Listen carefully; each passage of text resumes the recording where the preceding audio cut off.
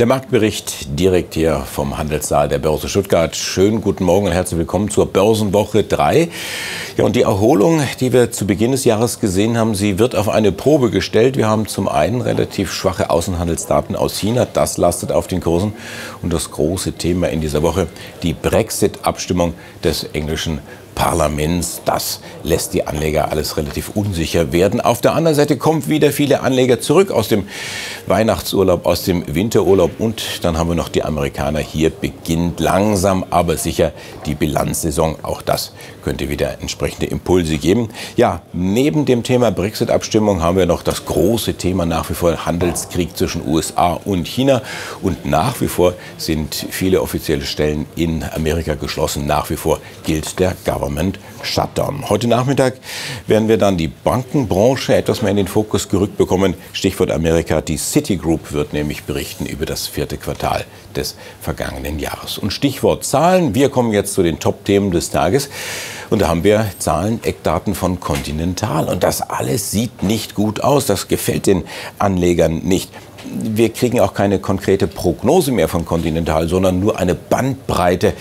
Und ja, Continental sagt, das ist üblich bei uns in der Branche, aber den Anlegern gefällt es überhaupt nicht. Schauen wir ganz kurz drauf. 2018, schwieriges Jahr für Continental, nicht nur für Conti, für die gesamte Autobranche. Die Konjunktur war eingebrochen. Zweimal musste man hier die Gewinnprognose kappen. Zwei Gewinnwarnungen hatte es gegeben.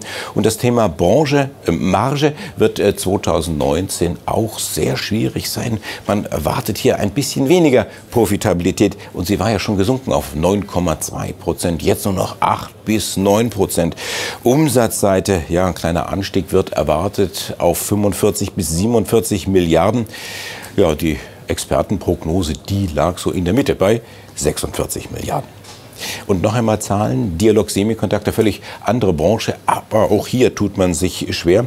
Hier hat man im vierten Quartal das untere Ende der eigenen Prognose erreicht. 431 Millionen US-Dollar. Selber war man ausgegangen von 430 bis 470. Im Gesamtjahr sieht es ein bisschen besser aus. Umsatzanstieg 7 Prozent, 1,44 Milliarden Dollar hat man erreicht auf der Umsatzseite. 1,46 sind erwartet worden. Die Aktie zunächst ins Minus gedreht, dann wieder ins Plus. Experten sagen, guckt euch doch mal das Unternehmen an, finanziell gut aufgestellt und auch das Thema Aktienrückkaufprogramm. Das ist ja eine gewisse Art der Kurspflege. Ganz schnell noch gehen wir in die Luft. Ähm, die Luftfahrtbranche Fraport meldet mit knapp 70 Millionen Fluggästen einen Rekord an abgefertigten Passagieren in Frankfurt. Und die Lufthansa, die sagt, Ölpreis ist wieder gefallen. Wir werden im Jahr 2019 weniger ausgeben müssen für Kerosin.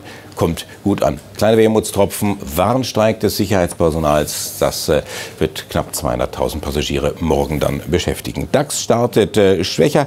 Dow Jones äh, auch mit roten Vorzeichen. Der Euro leicht im Plus. Gleiches gilt auch für den Goldpreis. Tschüss, bis später.